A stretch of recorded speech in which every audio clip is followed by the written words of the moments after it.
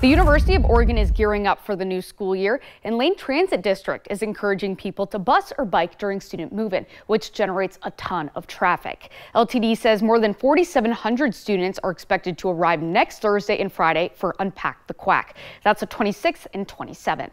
They're encouraging folks to ride the bus or PeaceHealth bikes to reduce traffic around campus.